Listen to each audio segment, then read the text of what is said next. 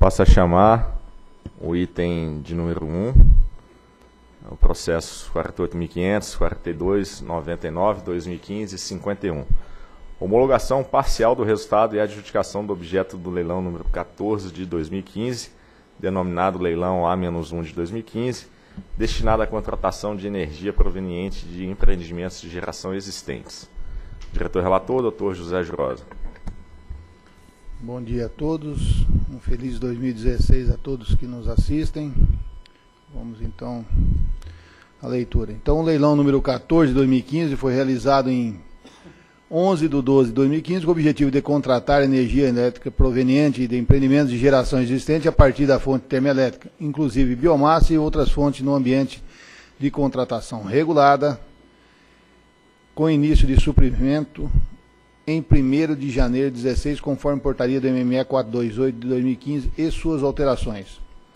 O montante de energia negociado no certame foi de 47 milhões 18.016 megawatt-hora ao preço de venda médio de R$ 147,77 por megawatt-hora, totalizando aproximadamente 7 bilhões de reais.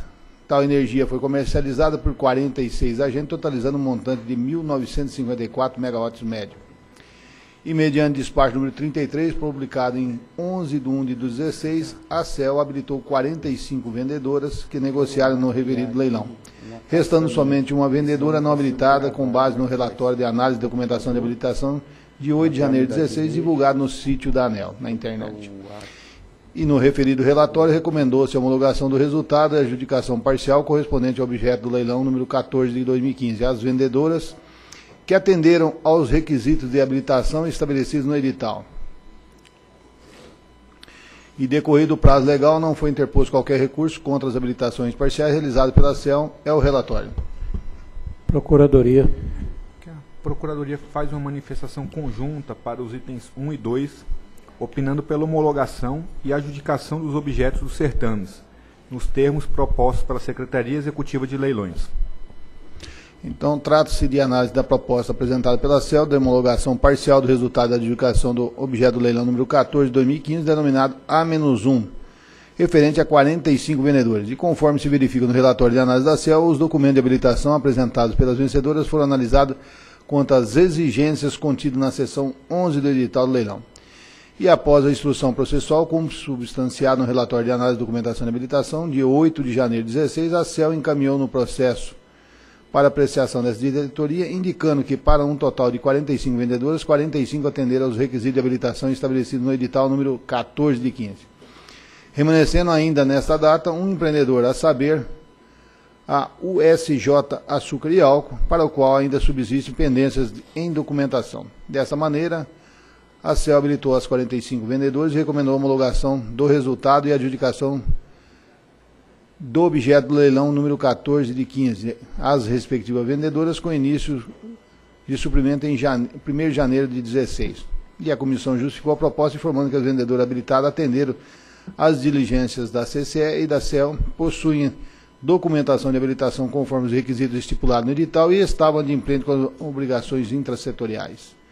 E a tabela a seguir apresenta as informações relativas aos empreendimentos cuja homologação e adjudicação foram propostas pela CEL. Então tá aqui, estão aqui relacionadas as 45 empresas.